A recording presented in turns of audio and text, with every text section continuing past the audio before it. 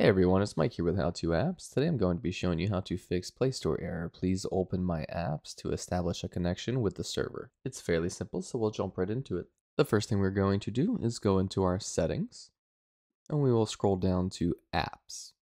In the list of apps, we will press Google Play Store, we are going to choose storage.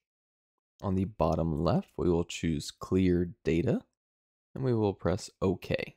From here, we will press back and we will choose permissions.